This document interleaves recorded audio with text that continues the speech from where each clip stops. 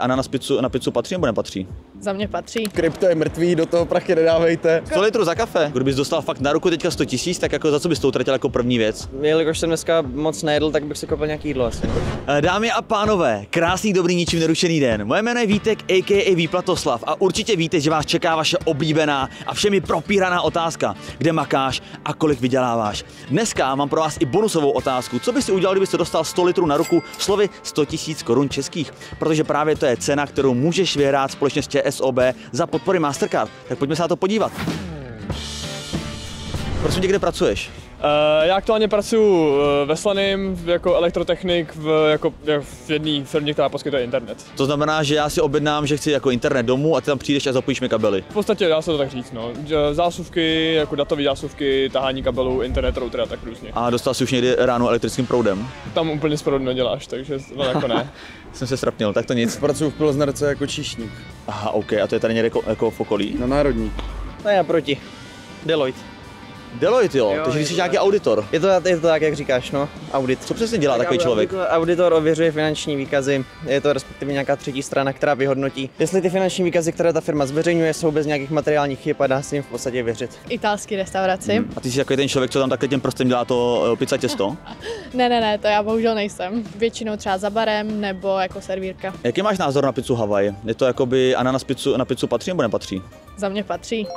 Za mě taky. Zdravíme všechny hejtry. Eh, V domově důchodců, dobrovolně. S čím tam pomáháte, nebo co tam děláte konkrétně? Já chodím k lidem, kteří jsou připoutáni na lůžko a čtu jim, povídám se s nima a tak podobně. Dělám hostesku v restauraci. Usazuju hosty. Jo, dobrý. A v jaký restauraci? Monarch. To je nějaká drž- dražší restaurace? Jsou tam stejky a tak je to trošku dražší, no. Jo, tak proto to neznám. Já jsem sportovec, takže jsem zaměstnaná v Olympu. A co sportuješ? Lezu. Tak to je mega zajímavý, tady to anketu děláme tak dlouho a z profi sportovce jsme nikdy neměli. Pak jsem se chtěl zeptat, kolik taková brigáda eh, hodí měsíčně, kolik tam dá vydělat. To je asi na tom, jak je tam kdo dlouho a jak to komu jde. Díky za konkrétní odpověď, tak eh, třeba co se týče tebe třeba, tak kolik tam máš nějak na hodinu nebo kolik si tam dokážeš vydělat? No, já mám na hodinu 180. Jako tam je spoustu uh, pozic, na které člověk jako může být, jo, ale je to prostě od 40-50 tisíc výše. To ta vrchní hranice, hm, partnery nikdo neví. Tak jdeme tomu třeba, nevím, dvě stovky na hodinu, dejme tomu. A když nějakému zákazníkovi jdeš, tak dá ti nějaký třeba dýško, že jsi mu to jako zapojil hezky. Je- Jelikož jim to hodí fakturou, tak asi úplně ne, no. Jako třeba často, jelikož jsme Češi, tak nabízejí pivko, ale to nemůžeš, protože často řídíš. Platí dobře.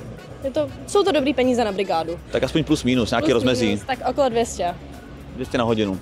Vím, že to děláte dobrovolně, ale tam tím pádem teda jsou z toho nějaký peníze nebo ne? To není jako brigáda. Ne, ne, ne, žádné peníze z toho nejsou. No já jsem normálně zaměstnaná, jako zaměstnanec, takže mám plat, plus ještě mám nějaké jako brigády a vydělat jako více se dá skrz, no, sponzory 40 tisíc.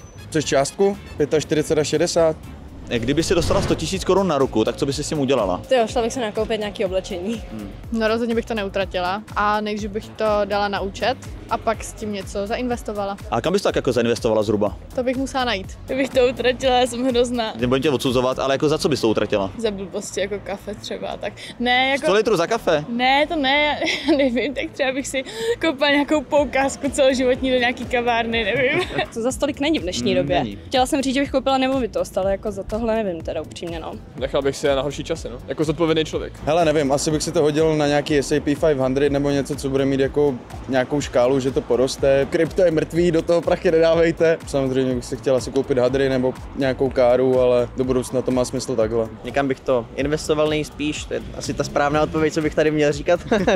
Kdybys dostal fakt na ruku teďka 100 000, tak jako za co bys to utratil jako první věc? Jelikož jsem dneska moc nejedl, tak bych si koupil nějaký jídlo asi, no.